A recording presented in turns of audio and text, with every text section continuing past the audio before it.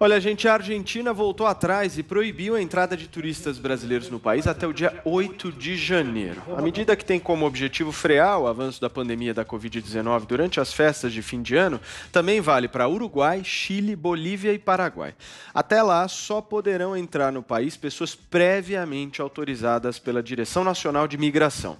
Elas precisaram apresentar teste negativo para a doença do tipo RT-PCR, realizado 72 horas antes do voo e cumprir quarentena de sete dias. Além disso, no caso de estrangeiros, também será obrigatória a contratação de um seguro de assistência médica internacional. E aí, Joel Pinheiro da Fonseca, como é que você está avaliando essa situação? Primeiro da mutação, né, dos vírus encontrados aí no Reino Unido e na África, e esse fechamento da Argentina. É, Paulo, a mutação nos deixa um pouco apreensivos, né? Imagina uma nova forma do vírus aí se alastrando. Felizmente, tudo indica que, eu estou acreditando nessas notícias também, as vacinas que já foram desenvolvidas funcionam para as novas variantes do vírus. Então a gente não precisa ficar desesperado também. As vacinas que vão dar conta da, da versão da, original dão conta das mutações também. Agora, eu não posso dizer que eu ache incorretas as medidas dos diversos países aí, viu? porque o Adriles olhou torto aqui, mas a gente está numa reta final.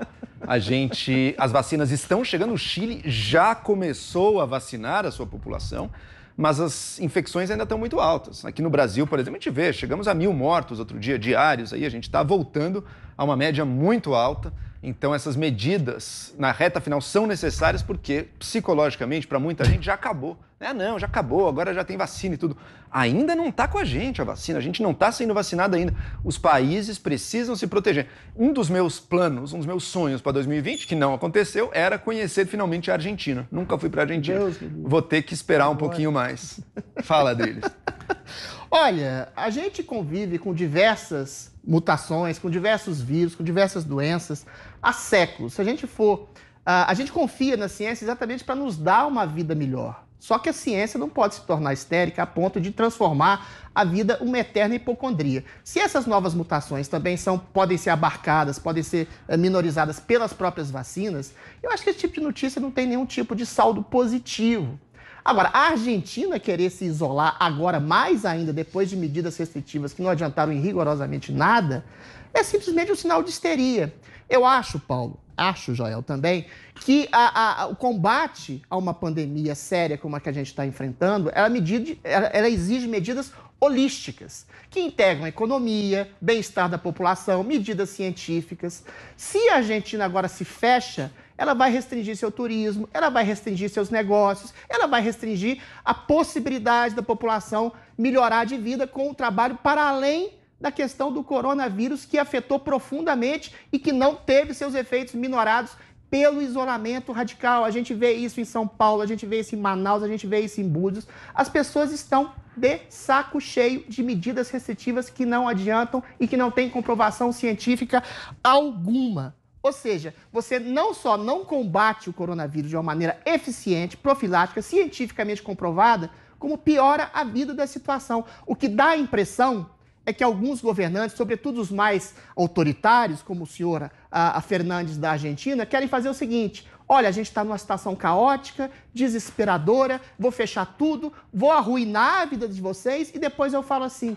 Eu salvei vidas. Eu volto a dizer: o melhor presente para um péssimo governante foi o isolamento social. Essas medidas restritivas de Deus, absolutamente radicais. Porque o cara Vamos pode lá. fazer um governo, um governo de merda e depois dizer, eu estava salvando vidas. A Argentina, meu caro Joel, é um exemplo nesse sentido. Não salvaram vidas, os índices de mortos infectados são estratosféricos, fizeram todas as recomendações da OMS e, vamos infelizmente, não. não. adiantou nada. Vamos lá, Adris, vamos lá, ponto a ponto. Eu não vou voltar aqui nas listas de países que a gente já se cansou um pouco, é, mas governantes de esquerda e de direita fizeram coisas sérias. Uruguai teve um combate sério ao vírus. O Não, Chile o teve um teve. combate sério ao vírus e o Chile já está vacinando a população. Você quer se ver livre das medidas de isolamento, Não, você não, vai ter que eu não estou- a não estou falando de todas as O medidas de Chile é um isolamento. país sério, tá Mas a fazendo. Argentina- O Chile está fazendo também. Não adianta só pegar o malvadão da Argentina. Os que você gosta Não, também mas eu estou citando a Argentina. Mas não adianta pegar só Eu estou um. citando Pega o governo todos, de São Paulo que todos. trancou agora Então, de semana. Uma quarentena. e Deixa eu falar a Você viu o efeito da quarentena? Você jurava, Não houve efeito. Adri- não teve não efeito. Você dizia em que tinha imunidade de São rebanho, Paulo, Adriles. São Paulo, São e Paulo. Não, imunidade de rebanho resolve em todas as pandemias, você A médio a longo Pera, pera, prazo. tem, tem, Pera aí, cinco segundos, cinco segundos. A Argentina, a Argentina Pera proibiu aí. turismo brasileiro. Você tá de não, não. brincadeira. A Argentina tem Adriles, cinco Adriles, no meio, no meio da quarentena, você falou pra mim, os Ah. números estavam caindo. Você falou, é porque a gente já tá na imunidade de rebanho. Não, a gente você pode já... estar chegando Pera, pera, pera, pera. Os números estão caindo em pera, 16 pera, estados. pera, deixa eu Senão ninguém entende nada. Você me, você me dizia, não, que a gente já está na imunidade de rebanho, não serviu pra nada. É. Depois os números subiram. Ou seja, deles, não era imunidade de rebanho. Sabe por que que tinham baixado Ok, os números? gente. Por causa do distanciamento, por causa do isolamento. Não. Só por Não. aquilo e agora Deixa- subiu de novo, que Não, acabou, Joel, cara. Não tem a peraí. menor dúvida. Adriles, deixa eu, dúvida. só, deixa eu só entrar num tema que você Sim. mencionou aqui, que você abordou, dessa questão aqui em São Paulo. O governador João Dória decretou a fase vermelha para os dias 25, 26, 27 de dezembro, ou seja, já foi. Só que nós temos agora 1, 2, 3 de janeiro de 2021 também na fase vermelha. Aí o que, que aconteceu? 19 cidades deixaram de cumprir. O caso aí do litoral, por exemplo, Baixada Santista, Litoral Norte, enfim, praticamente todas, se eu não me engano, foram todas, se eu não estou enganado. As prefeituras têm autonomia em cima do, do do Exatamente. governo, né? Como é que vocês enxergam isso? Essas prefeituras agiram bem ou não? Uma coisa é você se distanciar socialmente, você fa- fazer medidas profiláticas, como o uso de máscaras, não aglomerar, não fazer festas e baladas genocidas. Outra coisa, Joel Pinheiro da Fonseca, é você proibir, coibir comércios, shopping, bares, instituições de ensino de abrirem. Essas medidas restritivas de isolamento radical foram absolutamente fracassadas. E quando o governador faz uma medida de isolamento radical que já não deu certo no passado, tendo em vista os números progressivamente mais altos, você está fazendo exatamente uma coisa que já deu errado, fazer dando errado de novo e piorando a vida da população de novo. Joel, a imunidade de rebanho não é um mito. Ela é alcançada em todas as pandemias, em maior ou menor grau. vacina, Tem né, umas Adri? várias. Calma. vacina, né? Não, calma. Nenhum- nenhuma pandemia se resolveu por vacina. Desde a gripe espanhola, desde a, a- a gripe asiática, Tá todas se resolveram. Pela... Eventualmente, você pode coibir, você pode fechar a imunidade de rebanho prioritariamente pela vacina. Mas tem 16 estados no Brasil, por exemplo, que os números estão já caindo.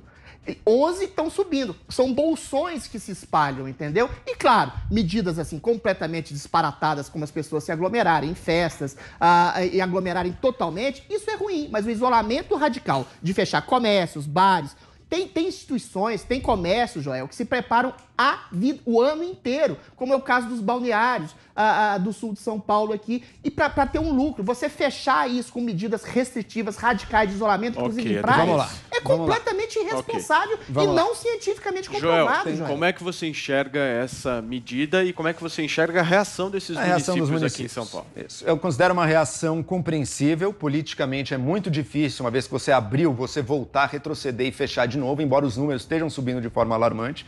Eu acho compreensível do ponto de vista político. Eu acho que do ponto de vista constitucional, possivelmente eles têm o direito também de fazer isso, assim como o governo federal não pode determinar os estados, os estados também não necessariamente pode determinar os municípios, mas provavelmente é uma medida equivocada dos municípios. Provavelmente eles vão. Porque o que, eles querem? Eles querem a economia deles e dá para entender, é compreensível, mas vai gerar grandes aglomerações. Pessoas nas praias com distanciamento é das coisas menos perigosas. Pessoas com distanciamento. Agora, festas de Réveillon nos municípios. Alguém já passou Réveillon na praia? Não é as pessoas com distanciamento, é todo mundo junto. É isso que está em jogo aqui. E isso é uma verdadeira bomba de Comércio contagem. é- comércio é Adriles, aglomeração? Adriles, nem toda medida de restrição é correta também. Por exemplo, aqui em São Paulo, os parques ficaram fechados Mas um é o que eu tô tempão dizendo. não precisa. Outras coisas, bares à noite, olha, infelizmente é um lugar que contagia Ah, muito. entendi. Bares, Agora- à noite o vírus contamina. Não, Porque as pessoas vão lá no tarde, bar, não. não. Porque a, a- As pessoas aglomeram a em pessoa, outros tra- a horários, pessoa trabalha à tarde, É né, muito Adriles? Ela trabalha à tarde, girar o vai no bar à noite. aqui. À noite é mais A perigoso. gente tá